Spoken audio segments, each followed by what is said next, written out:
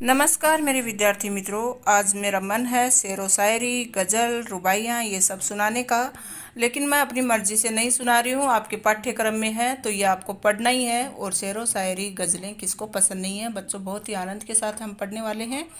तो ये है हिंदी आर क्लास ट्वेल्थ में, चैप्टर नंबर नाइन, जो आज हम बहुत ही सरल भाषा में डिस्कस करने वाले हैं। इसमें है गज़ल, रुबाइयाँ, जो कि लिखी हुई हैं आपके प्रसिद्ध लेखक फिराक गोरखपुरी द्वारा। उनका प्रसिद्ध शेर है, बच्चों, बहुत पहले से उन कदमों की आहट जान लेते हैं, तुझे ये ज़िंदगी हम दूर से पहचान लेते हैं। वाह वाह वाह वाह, क्या शेर है बच्चों। फिराक गोरखपुरी का इनका जन्म हुआ था अठारह सौ अठानवे में, छियानवे में, और मृत्यु हुई थी अठारह सौ बयासी को। इनका परिचय थोड़ा सा बता दूँ मैं। ये गोरखपुर के थे और 28 अगस्त अठारह को इनका जन्म हुआ था। इनका मूल नाम रघुपति सहाय था और रामकृष्ण की कहानियों से अपनी शिक्षा की शुरुआत की। बाद में इन्होंने अरबी, फारसी और अंग्रेज़ी भी सीख ली। फिर 1917 में ये कलेक्टर के पद के लिए चयनित हुए, लेकिन स्वतंत्रता आंदोलन में इनको हिस्सा लेना था। इसके लिए इस पद से त्याग त्यागपत्र दे दिया 1918 में। और फिर आंदोलन में हिस्सा लेने के कारण इनको 1920 में जेल हो गई थी। इनको गुले नगमा, जो इनकी रचना है, उसके लिए इनको साहित्य अकादमी पुरस्कार मिला, ज्ञानपीठ पुरस्कार मिला और सोवियत लैंड पुरस्कार भी इनको मिला हुआ है। 1938 में इस महान लेखक, शायर, कवि का निधन हो गया। तो इनकी रचनाओं में, शायरी के क्षेत्र में इन्होंने नए कीर्तिमान स्थापित किए। इनकी महत्वपूर्ण कृतियाँ हैं गुले नगमा, बजबे ज़िंदगी, रंगे शायरी, उर्दू, गज़ल गोई और काव्यगत विशेषताओं की बात करें तो उर्दू शायरी साहित्य का बड़ा हिस्सा, रुमानियत, रहस्य और अकबराबादी, इल्ताफ़ हुसैन वाली जैसे कुछ शायरियों ने इस परंपरा को तोड़ा है। तो फिराक गोरखपुरी इनमें से एक है। फिराक ने परंपरागत भावबोध और शब्द भंडार का उपयोग करते हुए उसे नई भाषा और नए विषयों से जोड़ा है। उनके सामाजिक दुख, दर्द, व्यक्तिगत अनुभूति बनकर शायरी में ढला है। तो इंसान के हाथों इंसान पर जो गुजरती है, उसकी तल्ख सच्चाई आने वाले कल के प्रति एक उम्मीद दोनों भारतीय संस्कृति लोक भाषा की प्रतीकों से जोड़कर उन्हें अपनी शायरी का अनूठा महल खड़ा किया है। इनकी भाषा शैली मैंने बताई दी कि उर्दू भाषा का इन्होंने प्रयोग किया है, लाक्षणिक और मुआवरेदार भाषा इन्होंने बनाई है। इन्होंने कहा कि शेर लिखे नहीं जाते, कहे जाते हैं। ये एक तरह का संवाद होता है। मीर गालिब की तरह फिराक ने भी इस शैली को साध कर आम आदमी साधारण जन से अपनी बात कही है। तो रुबाइयाँ क्या हैं बच्चों? कि जो फिराक गोरखपुरी हैं, इनकी रुबाइयाँ, उनकी रचना गुले नगमा से उद्धृत है मतलब गुले नगमा से ली गई हैं। आज जो हम रुबाइयाँ पढ़ेंगे वो, रुबाई उर्दू और फारसी का एक छंद या लेखन शैली है। इसकी पहली, दूसरी और चौथी पंक्ति में तुक मिलाया जाता है। कौन सी? पहली, दूसरी और चौथी में। और तीसरी पंक्ति स्वतंत्र होती है। इन रुबाइयों में हिंदी का एक घरेलू रूप दिखता है। इन्हें पढ़ने से सूरदास के वात्सल्य वर्णन की याद आती है, क्योंकि माँ बेटे का इसमें संवाद है और माँ बेटे का जो स्नेह होता है, प्यार होता है, उसको कहते हैं वात्सल्य रस। तो इसमें वात्सल्य रस दिखाई पड़ता है। तो माँ और बच्चा किस तरह से एक दूसरे से बात करके खुश होते हैं, उछलते हैं, बच्चे और खिलखिलाकर हँसते हैं। वो इनकी रुबाइयों में देखने को मिलता है, जो कि सूरदास ने कृष्ण के लिए अपना वात्सल्य प्रेम दिखाया, वही इसमें फिराक गोरखपुरी की रुबाइयों में दिखता है। तो इसका सार क्या है कि कवि ने वात्सल्य वर्णन का वात्सल्य का वर्णन किया है। माँ अपने बच्चे को आँगन में खड़ी होकर अपने हाथों से प्यार से झुला रही है, वो उससे बार बार हवा में उछालती है, जिसके कारण बच्चा बहुत खुश होता है और खिलखिलाकर हंसता है। वह उसे साफ़ पानी से नहलाती है तथा उसके उलझे हुए बालों को कंगी करती है। बच्चा भी उसे प्यार से देखता है और उसे कपड़े पहनाती है। तो दिवाली के अवसर पर शाम होते ही सजे हुए घर सुंदर लगते हैं, चीनी मिट्टी के खिलौने बच्चों को खुश कर देते हैं, वह बच्चों को छोटे से घर में दीपक जलाती है, और जिससे बच्चों के सुंदर चेहरे पर चमक आ जाती है। और आसमान में चाँद को देखकर बच्चा जिद करता है कि उसे चाँद चाहिए तो माँ क्या करती है? सामने उसके सामने दर्पण लाकर उसी में से चाँद को दिखाती है और बोलती है कि, चाँद देखो, दर्पण में उतर आया है। चलिए बच्चों, शुरू करते हैं रुबाइयों को। गज़ल का हम दूसरा वीडियो बनाएँगे, उसमें आपको गज़ल समझाएँगे, ठीक है? आज हम पढ़ रहे हैं रुबाइयाँ। आँगन में लिए चाँद के टुकड़े को खड़ी, हाथों पे झुलाती है उसे गोद भरी। तो शायर जो फिराक गोरखपुरी है, वो क्या कहता है कि एक माँ चाँद के टुकड़े, अर्थात अपने बेटे को अपने घर के आँगन में लिए खड़ी है और वही अपने चाँद के टुकड़े को अपने हाथों पर झुलाने लगती है। तो चाँद का टुकड़ा किसको बताया है? उसके बेटे को। तो आँगन में माँ चाँद के टुकड़े को, अर्थात अपने बेटे को, घर के आँगन में लिए खड़ी है। हाथों से झुलाती है उसे गोद भरी और यहीं अपने चाँद के टुकड़े को अपने हाथों पर झुलाने लगती है।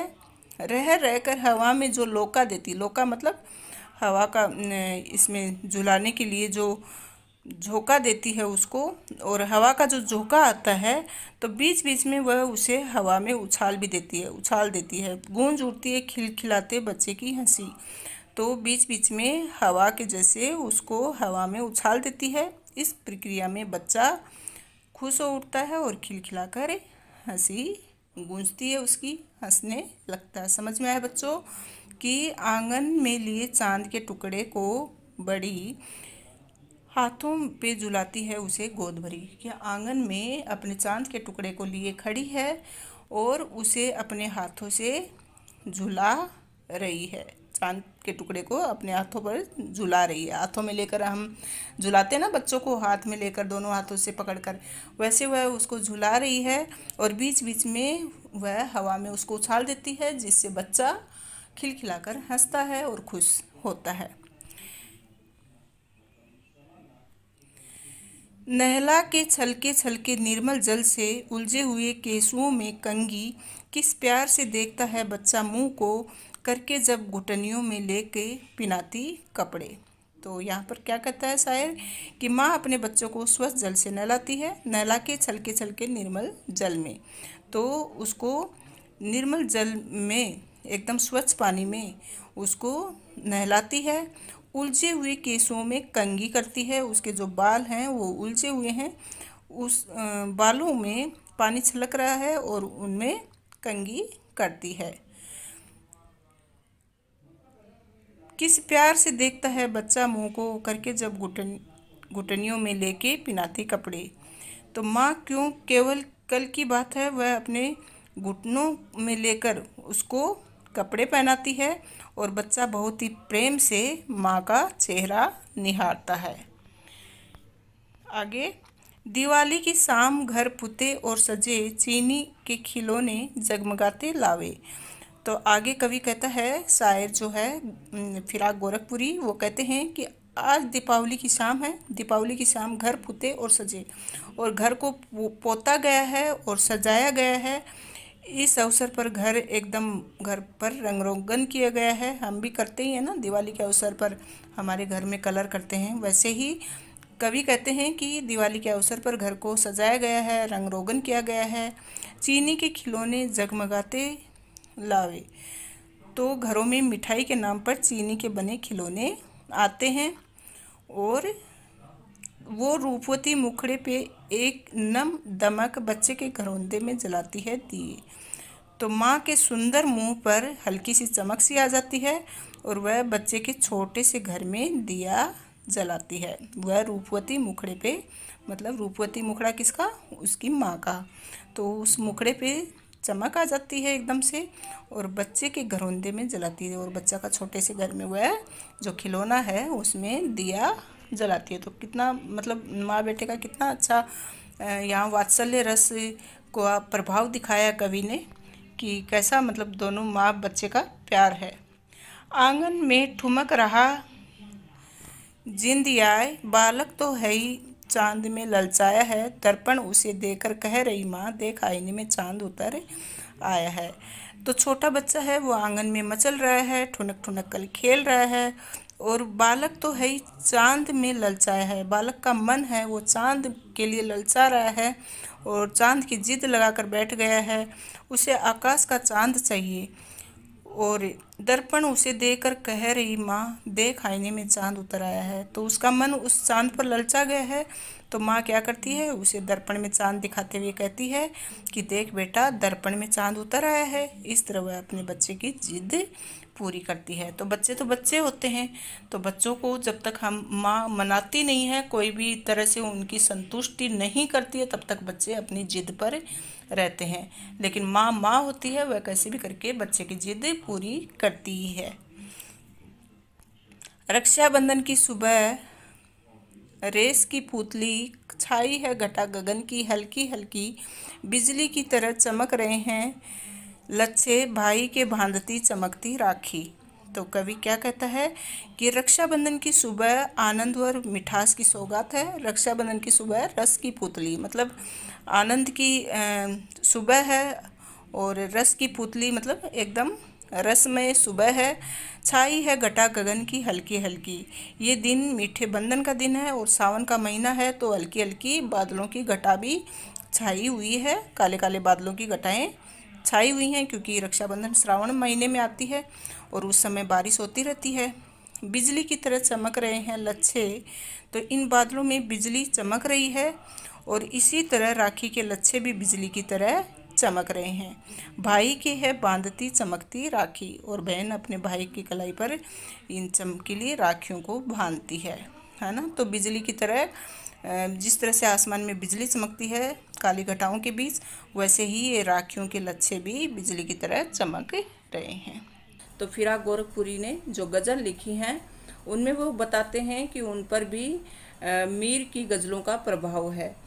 चलिए देखते हैं, रुबाइयों की तरह फिराक की गज़लें में भी हिंदी समाज और उर्दू शायरी की परंपरा भरपूर है। इस गज़ल में दर्द और पीड़ा के साथ साथ शायर की ठसक भी अंतर्निहित है। इसका सार इस तरह है। गज़ल के माध्यम से शायर कहता है कि लोगों ने हमेशा उस पर कटाक्ष किए हैं, उसके बारे में बुरी बुरी बातें कही हैं। साथ ही उसकी किस्मत ने भी उसका साथ नहीं दिया। गम उसके साथ हमेशा रहा है और उसे लगता है जैसे रात का सन्नाटा उसे बुला रहा है। शायर आगे कहता है कि इश्क वही कर सकता है जो अपना सब कुछ खो देता है। जब शराबी शराब पिलाते हैं तो उसे अपनी प्रेमिका की याद आ जाती है। और अंतिम शेर में शायर कहते हैं कि वह ये स्वीकार करता है कि उसकी गज़लों पर मीर की गज़लों का प्रभाव है। चलिए एक एक गज़ल को ध्यानपूर्वक पढ़ेंगे और उसके सरल अर्थ के साथ हम उसको समझेंगे। रुबाइया हम पढ़ चुके हैं। आज है हमारे लिए गज़ल, जो कि आपकी क्लास ट्वेल्थ आर में, चैप्टर नंबर नाइन में है। पहली गज़ल है नीरस गुंचे पंखुड़ियों की नाजुक गिरह खोले हैं या उड़ जाने को रंगो बू गुलशन में पर तोले हैं। तो यहाँ पर पर का अर्थ है पंख और गिरह मतलब गांठ, पंखुड़ियाँ मतलब जो कोमल पंखुड़ियाँ होती हैं कोई भी कली की, वो। तो ये सब यहाँ पर शायर क्या कहना चाहते हैं कि बसंत ऋतु में नीरस गुंचे पंखुड़ियों की तो रस से भरी हुई, नए रस से भरी हुई कलियाँ नाजुक गिरे खोले हैं। कलियों की कोमल पंखुड़ियाँ गांठे खोल रही हैं, कब? बसंत ऋतु में। और वे धीरे धीरे फूल बनना चाहती हैं मतलब फूल बनने के लिए कोशिश कर रही हैं, फूल बनने के लिए अग्रसर हैं। या उड़ जाने को रंगो बू गुलशन में पर तोले हैं। उनको देखकर क्या लगता है? मानो रंग और सुगंध। रंगो बू। रंग और बू मतलब सुगंध। दोनों आकाश में उड़ जाने के लिए पर तोले हैं, पंख फड़फड़ा रहे हैं। दूसरे शब्दों में, बाग में कलियाँ खिलते ही चारों तरफ़ सुगंध फैल जाती है। तो कवि क्या कहते हैं कि बसंत ऋतु में नए रस से भरी कलियाँ अपनी कोमल पंखुड़ियाँ खिला रही हैं और पंखुड़ियाँ अपनी गांठें खोल रही हैं मतलब वो खिल रही हैं और फूल बनने की कोशिश में हैं और उनको देखकर ऐसे लगता है कि उन फूल और उनकी सुगंध, उनका रंग दोनों ही आकाश में उड़ने के लिए तत्पर हैं।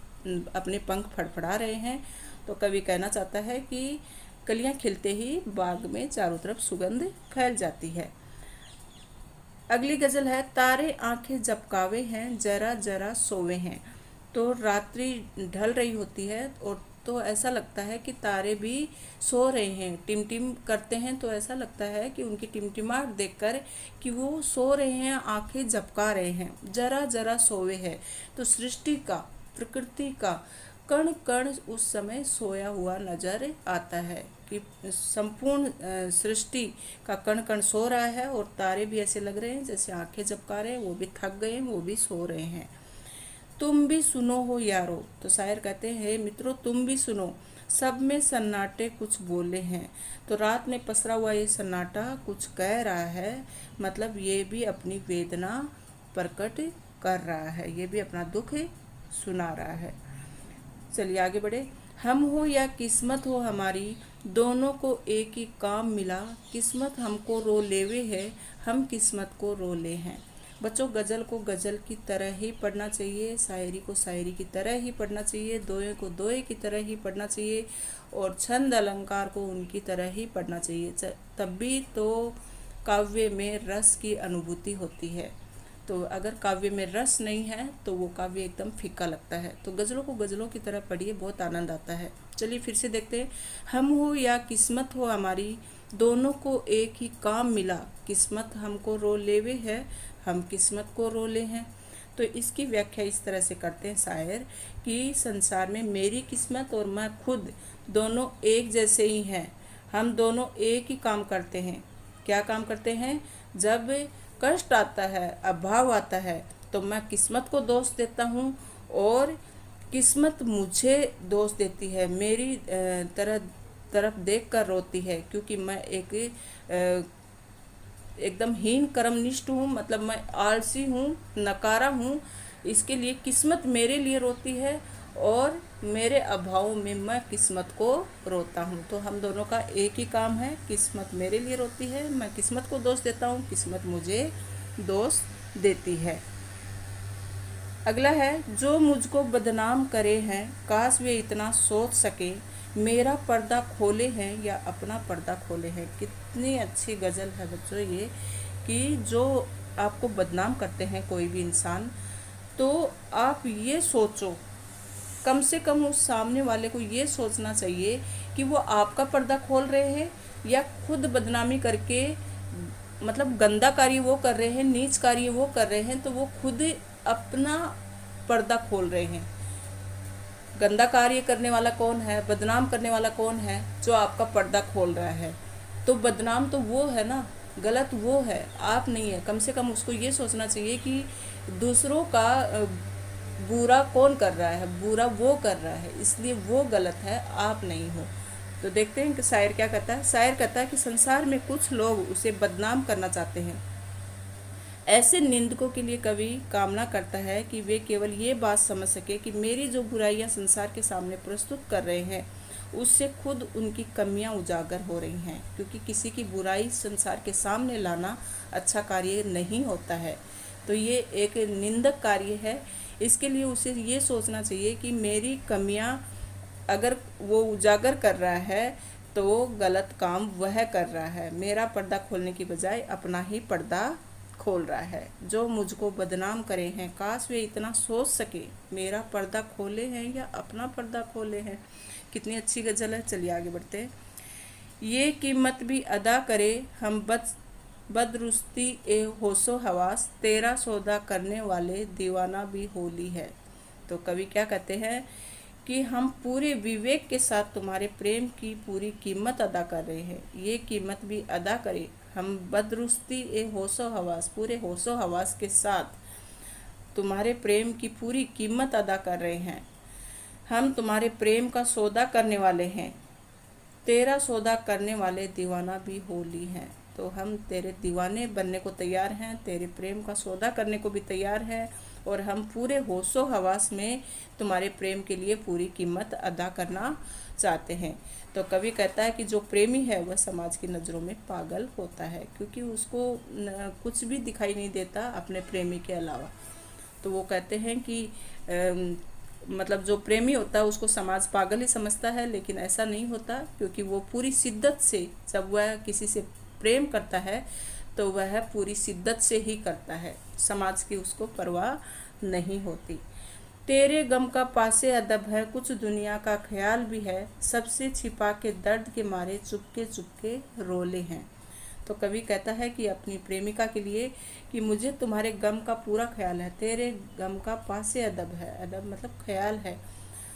कुछ दुनिया का ख्याल भी है। मैं तुम्हारी पीड़ा का सम्मान करता हूँ, परंतु मुझे संसार का भी ध्यान है। मुझे तुम्हारे गम का, तुम दुखी हो, ये मुझे पूरा ध्यान है। लेकिन साथ साथ मुझे संसार का भी ध्यान रखना पड़ता है। सबसे छिपा के दर्द के मारे चुपके चुपके रोले हैं। यदि हर जगह तुम्हारे लिए दुख के सबके सामने गाता फिरूं तो दुनिया हमारे प्रेम को बदनाम कर देगी। मतलब अगर मैं तुम्हारे और मेरे प्यार के चर्चे दुनिया के सामने रो रो कर गाता रहूँगा तो दुनिया हमें बदनाम कर देगी। इसके लिए मैं क्या करता हूँ, इस पीड़ा को अपने ही हृदय में छिपा लेता हूँ और चुपचाप अकेले में ही रो लेता हूँ। सबसे छिपा के दर्द के मारे चुपके चुपके रोले हैं। तो ये है कि प्रेमी अपने दुख को संसार के सामने प्रकट नहीं करते और दुख तो होता है प्रेमिका के लिए। प्रेमिका को समझाते हैं कि दुख तो मुझे बहुत है, लेकिन इस संसार का भी ख्याल है, लेकिन संसार के सामने मैं अपना दुख प्रकट इसलिए नहीं कर सकता क्योंकि वो हमारे प्यार को बदनाम कर देंगे। इसके लिए मैं अकेले ही अपने हृदय में ये पीड़ा छुपा कर चुपके चुपके रो लेता हूँ। समझ में आ रहा होगा बच्चों? चलिए आगे बढ़ते हैं। फितरत का कायम है तवाजुन। आलम हुस्नो इश्क में भी उसको उतना ही पाते हैं, खुद को जितना खोले हैं। इसमें कवि क्या कहता है कि प्रेम और सौंदर्य के संसार में संतुलन कायम है। इससे हम उतना ही प्रेम पा सकते हैं जितना हम स्वयं को खोते हैं। दूसरे शब्दों में, प्रेम में पहले स्वयं को मिटाना होता है। जो व्यक्ति जितना अधिक समर्पण करता है, वह उतना ही अधिक प्रेम पाता है। फितरत का कायम है कि ये संसार का नियम है, ये संतुलन है। तोजुन आलम हुस्नो इश्क में भी कि मतलब सुंदरता और प्रेम में ये संतुलन कायम रहना चाहिए। उसको उतना ही पाते हैं। हम किसी को उतना ही अधिक पाएँगे जितना हम उसके लिए समर्पित होंगे।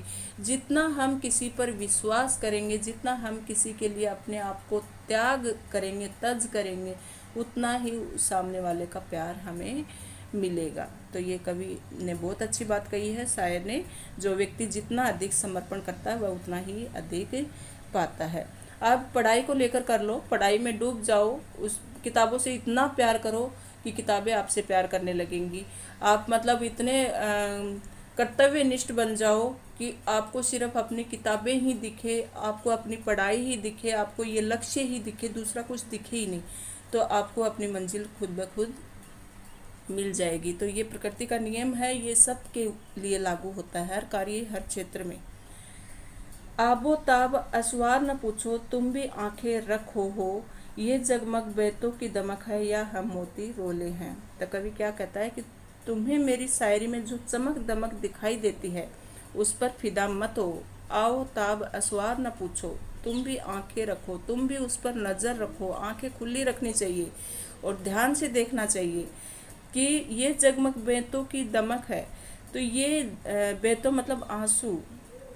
तो ये जो जगमग है, ये शेरों में जो चमक है, ये मेरे आंसुओं की देन है। दूसरे शब्दों में कवि क्या कहते हैं कि मैंने इसमें अपनी पीड़ा काव्य के माध्यम से दर्शाई है। दर्द भरी जो पीड़ा है, मेरे गम है, वो मैंने इन गज़लों के माध्यम से, इन शब्दों के माध्यम से सबके सामने प्रस्तुत किए हैं। तो तुम भी आँखें खोलो ध्यान से पढ़ो।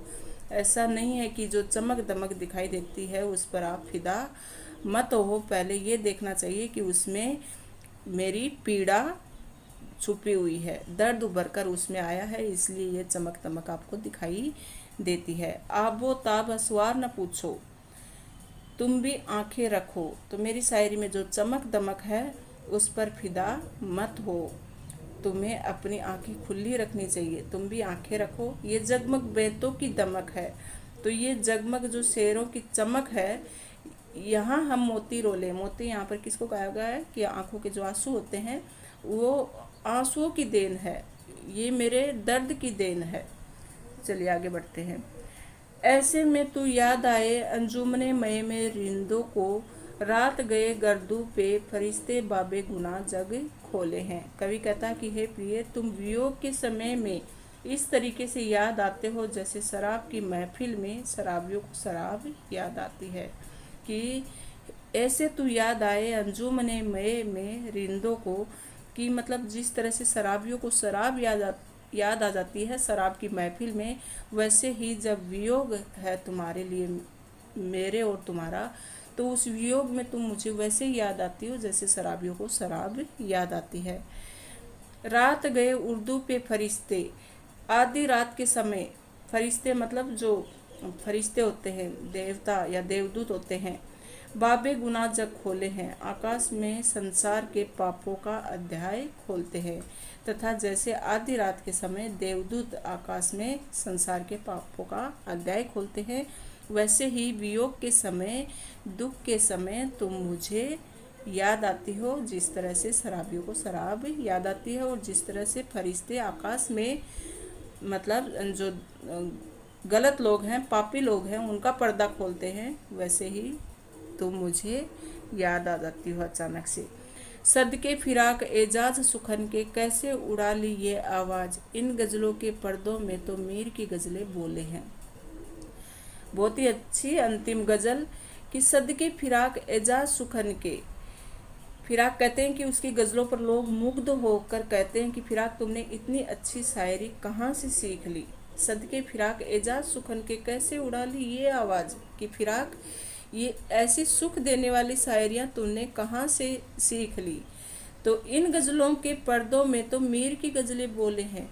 तो मैं सबको कहना चाहता हूँ कि इन गज़लों के शब्दों में तो मीर कवि की गज़लों की समानता दिखाई पड़ता है, पड़ती है। भाव ये है कि कवि की शायरी प्रसिद्ध कवि मीर के समान उत्कृष्ट है। तो कभी आपने मीर की अगर गज़लें नहीं पढ़ी हैं तो उनको भी देखिएगा।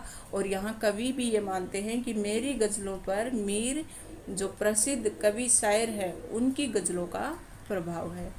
चलिए, आज हम इन दोनों के ही महत्वपूर्ण प्रश्न उत्तरों पर चर्चा करने वाले हैं। पहला प्रश्न है, शायर राखी के लच्छे को बिजली की चमक की तरह कहकर क्या भाव व्यंजित करना चाहता है? उत्तर है, शायर राखी के लच्छे को बिजली की चमक की तरह कहकर ये भाव व्यंजित करना चाहता है कि रक्षाबंधन सावन के महीने में आता है। इस समय आकाश में घटाएँ छाई होती हैं तथा उनमें बिजली भी चमकती है। राखी के लच्छे बिजली कोंदने की तरह चमकते हैं।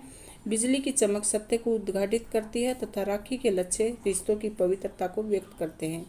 घटा का जो संबंध बिजली से है, वही संबंध भाई का बहन से है। बहुत ही अच्छा प्रश्न है बच्चों।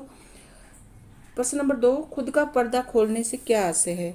उत्तर है, पर्दा खोलने से आशय है, अपने बारे में बताना। यदि कोई व्यक्ति किसी दूसरे की निंदा करता है या बुराई करता है तो वह स्वयं की बुराई कर रहा है। इसलिए शायर ने कहा कि मेरा पर्दा खोलने वाले अपना पर्दा खोल रहे हैं।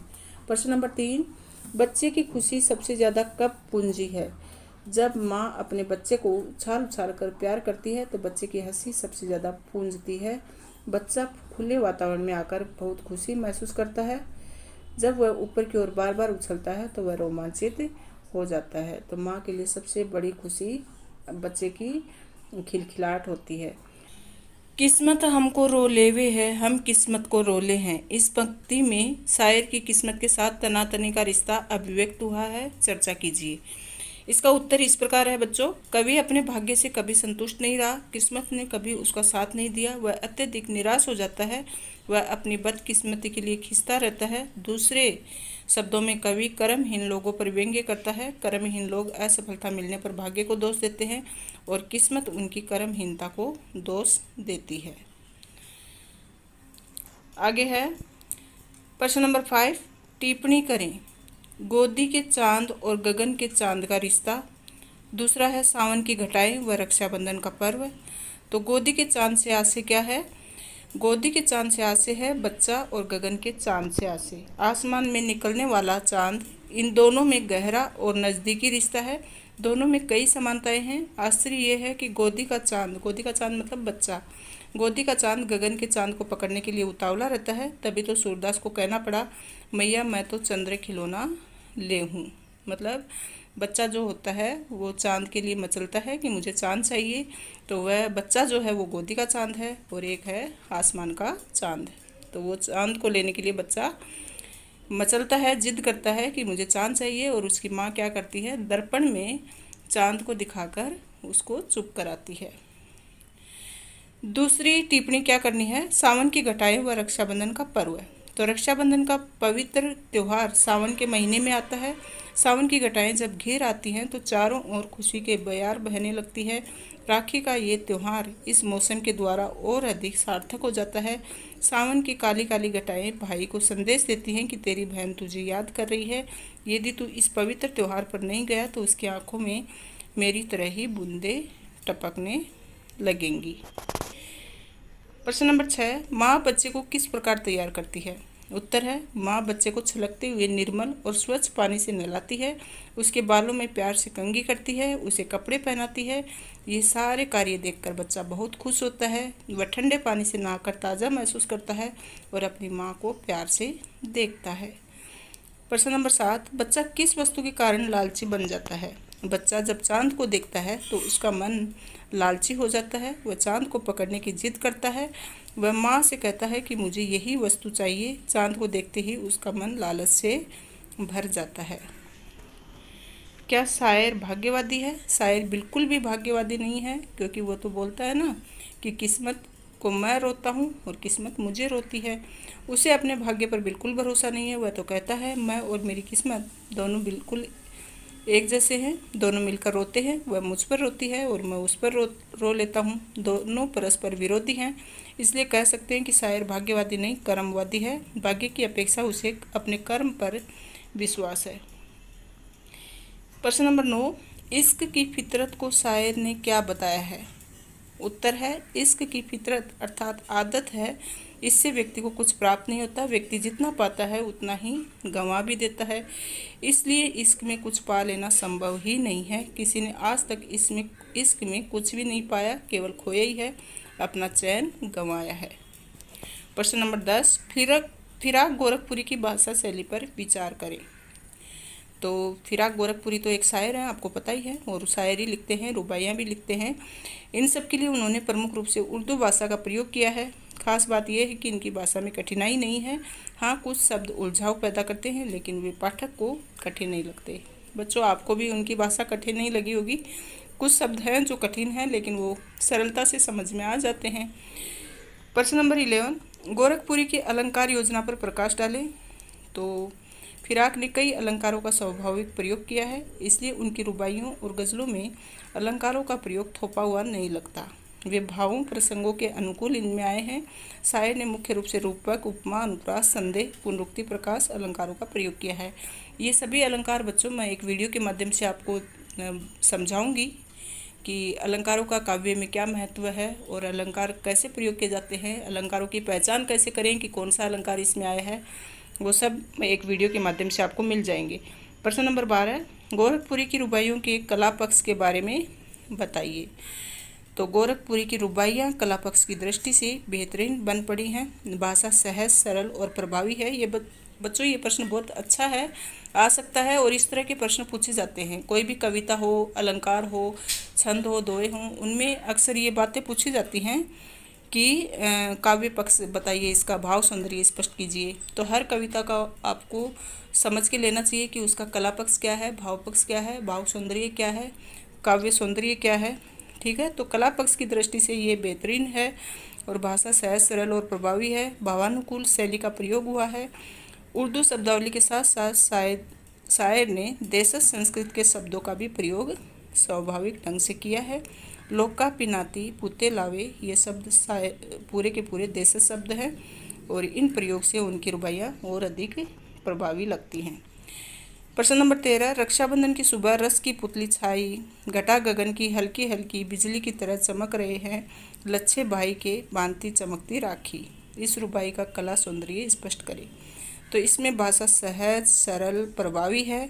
शायर ने उर्दू शब्दों के साथ साथ देश शब्दों का भी भावानुकूल प्रयोग किया है और इसमें अनुप्रास, पुनरुक्ति प्रकाश और रूपक अलंकारों का प्रयोग सुंदर तरीके से किया गया है। अब देखो, इन पंक्तियों का काव्य सौंदर्य पूछ लिया है और आ भी सकता है एग्ज़ाम में। ध्यान देना आपको, आँगन में लिए चाँद के टुकड़े को खड़ी, हाथों पे झुलाती है उसे गोद भरी, रह रह के हवा में जो लोका देती है, गूंज उठती है खिलखिलाते बच्चे की हँसी। तो इसका उत्तर है, कवि कहता है कि माँ अपने चाँद जैसे बच्चे को आँगन में लिए खड़ी है, वह अपने हाथों से झूले में झूला रही है, वह उसे हवा में धीरे धीरे उछाल रही है। इस काम में बच्चे को हँसी गूंज उठती है। चाँद के टुकड़े में उपमा अलंकार है और रह रह में मतलब बार बार, एक ही शब्द दो बार आए तो वो पुनरुक्ति प्रकाश अलंकार होता है। और किसी दूसरी चीज़ से उपमा दी जाए तो वो उपमा अलंकार होता है। तो चाँद के टुकड़े बच्चे की उपमा की गई है उससे। और रह रह में दो बार ये शब्द आया तो पुनरुक्ति प्रकाश अलंकार है। बाल सुलभ चेष्टाओं का वर्णन किया गया है और उर्दू शब्दों का भी मिश्रण किया गया है। गेता है मतलब गाने योग्य है और दृश्य बिंब है, भाषा सहज और सरल है और इसमें उर्दू भाषा का प्रयोग किया गया है। प्रश्न नंबर पंद्रह, रुबाइयों के आधार पर घर आँगन में दीपावली और राखी के दृश्य बिंब को अपने शब्दों में समझाइए। तो दीपावली के त्यौहार पर पूरा घर रंग रोगन से पुता हुआ है माँ अपने नन्हे बेटे को प्रसन्न रखने के लिए चीनी मिट्टी के जगमगाते खिलौने लेकर आती है वह बच्चों के घर में भी दिया जलाती है। इसी तरह राखी के समय आकाश में काले काले बादलों की हल्की घटा छाई हुई है। छोटी बहन ने पाँव में पाजेब पहनी है, जो बिजली की तरह चमक रही है। बच्चों, अंतिम प्रश्न है, फिराक की रुबाइयों में उभरे घरेलू जीवन के बिंबों का सौंदर्य स्पष्ट कीजिए। अर्थात इसको इस तरह से भी पूछा जा सकता है कि फिराक गोरखपुरी की रुबाइयों में ग्रामीण अंचल के घरेलू रूप की स्वाभाविकता और सात्विकता के अनूठे चित्र चित्रित हुए हैं। तो संग्रहित रुबाइयों के आधार पर उत्तर स्पष्ट कीजिए। आया हुआ भी है एग्ज़ाम में। उत्तर लिखेंगे कि फिराक की रुबाइयों में ग्रामीण अंचल के घरेलू रूप का स्वाभाविक चित्रण मिलता है। माँ अपने शिशु को आँगन में लिए खड़ी है। वह उसे झुलाती है। बच्चे को नहलाने का दृश्य दिल को छूने वाला है। दीपावली व रक्षाबंधन पर जिस माहौल को चित्रित किया गया है, वह आम जीवन से जुड़ा हुआ है।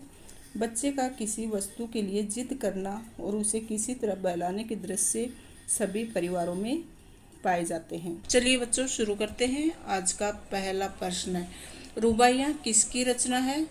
फिराक गोरखपुरी, फिराक सुल्तानपुरी, मजरूम सुल्तानपुरी, अहमदपुरी। तो सही उत्तर आएगा फिराक गोरखपुरी। माँ अपने प्यारे बेटे को कहाँ लिए खड़ी है? घर के मंदिर में, घर की छत पर, घर के आँगन में, घर के द्वार पर। तो माँ अपने प्यारे बेटे को घर के आँगन में लिए खड़ी है। बच्चे की हँसी से क्या गूंज उठता है? आँगन, घर, संपूर्ण वातावरण, संपूर्ण व्यक्तित्व तो संपूर्ण वातावरण बच्चे की हँसी से गूंज उठता है। माँ बार बार हवा में क्या उछालती है? माँ बार बार बच्चे को हवा में उछालती है। हवा में बच्चे की क्या गूंज रही है?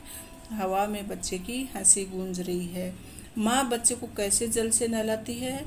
माँ बच्चे को एकदम निर्मल, पवित्र जल से नहलाती है।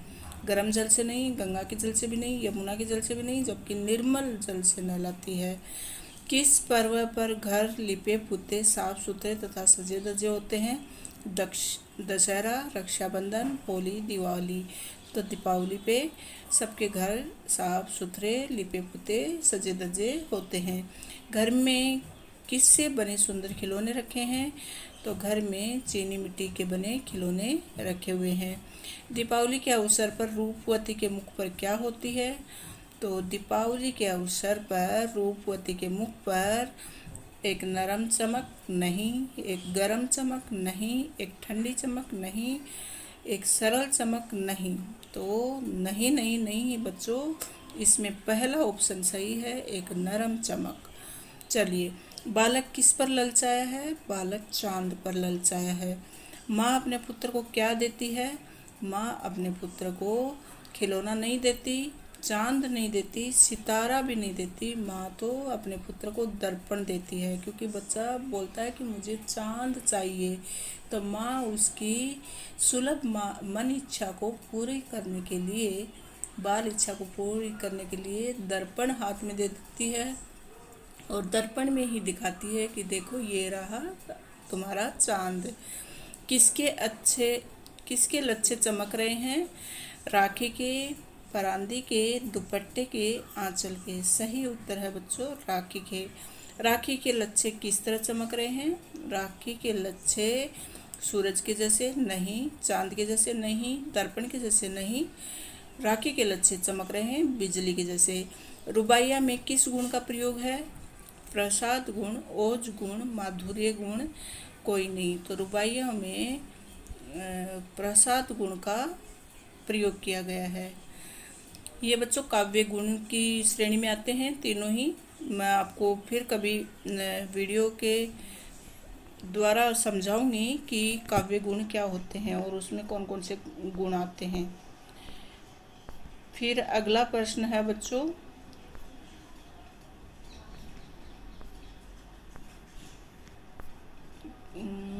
हाँ ये है अगला प्रश्न। रुबाइयों में किस छंद का प्रयोग हुआ है? तो रुबाइयों में रुबाई छंद का प्रयोग हुआ है। रुबाइयों में किस शैली का प्रयोग हुआ है? भावपूर्ण शैली का प्रयोग हुआ है। रुबाइयों में किस रस का प्रयोग हुआ है? ये पूछा गया प्रश्न है और इम्पोर्टेंट है। इसमें वात्सल्य रस, क्योंकि मैंने आपको बताया था पिछले वीडियो में कि माँ का अपने बच्चे के प्रति जो प्रेम होता है, स्नेह होता है, वो वात्सल्य रस की श्रेणी में माना जाता है।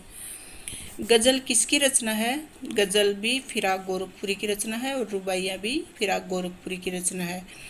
गज़ल में कवि ने किस ऋतु का वर्णन किया है? गज़ल में कवि ने बसंत ऋतु का वर्णन किया है। फूल की कलियाँ किसे खोलकर खिल उठती हैं?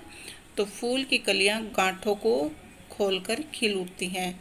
रात्रि के गहन अंधकार में प्रकृति का क्या सोया हुआ है? रात्रि के गहन अंधकार में प्रकृति का कण कण सोया हुआ है। रात्रि के गहन अंधकार में क्या टिमटिमा रहे हैं? ज़ाहिर सी बात है, गहन अंधकार में तारे टिमटिमा रहे हैं। चलिए, तारे क्या झपकाते हैं? तारे मन, तन, यादें नहीं नहीं तारे झपकाते हैं, आँखें। कौन कवि को बदनाम करना चाहता है? परिवार के लोग, रिश्तेदार, समाज के लोग, देश के लोग। तो कवि को बदनाम करना चाहते हैं समाज के लोग। कवि किस कीमत को अदा करने की बात कहते हैं? प्रेम की, शिक्षा की, भोजन की, कपड़े की। तो कवि प्रेम की कीमत अदा करने की बात कहते हैं। कवि किसको संबोधित करते हैं? माँ को, बहन को, भाई को, प्रियतमा को। कवि प्रियतमा को संबोधित करते हैं। कवि किसका सौदा करने के लिए कह रहे हैं? घर का, खेत का, प्रियतमा का, रिश्तों का। तो कवि प्रियतमा का सौदा करने के लिए कह रहा है। कवि प्रियतमा की किस भावना का सम्मान करता है? पीड़ा, खुशी, प्रेम, आदर्श। तो कवि पीड़ा की भावना का सम्मान करता है। कवि को अपनी प्रियतमा के साथ साथ किसका ख्याल है? कवि को अपनी प्रियतमा के साथ साथ दुनिया का भी ख्याल है। किसका तवाजुन कायम है? तो फितरत का तवाजुन कायम है। कवि किसकी चमक की बात कर रहा है? मोती, शेरों, हीरा, तारों। कवि शेरों की चमक की बात कर रहा है। शराब की महफिल में शराबियों को क्या याद आता है? तो शराब की महफिलों में शराबियों को शराब याद आती है। रात गए फरिश्ते, आकाश में संपूर्ण संसार का क्या खोलते हैं? प्रश्न पूछा गया है और अच्छा प्रश्न है, फिर से पूछा जा सकता है। तो पाप का अध्याय। रात गए फरिश्ते आकाश में, संपूर्ण संसार का पाप का अध्याय खोलते हैं। फिराक किस पर सद के जाता है? फिराक शायरी की आवाज़ पर सद के जाता है। कवि अपनी गज़लों को किन के प्रति समर्पित करता है? कवि अपनी गज़लों को मोर के प्रति समर्पित करता है। गज़ल में किस छंद का प्रयोग किया गया है? गज़ल में गज़ल छंद का ही प्रयोग हुआ है। फितरत कायम है, तवाजुन आलम हुस्न, इश्क में। पंक्ति में कौन सी भाषा है? तो यहाँ पर उर्दू और फारसी भाषा का प्रयोग किया गया है।